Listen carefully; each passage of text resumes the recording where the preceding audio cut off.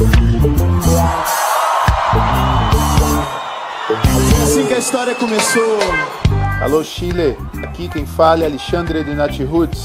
Dia 7 de novembro estaremos em Santiago para um concerto em Hip Cool Festival. Obrigado, até lá. Beija-flor que trouxe meu amor. Voou e foi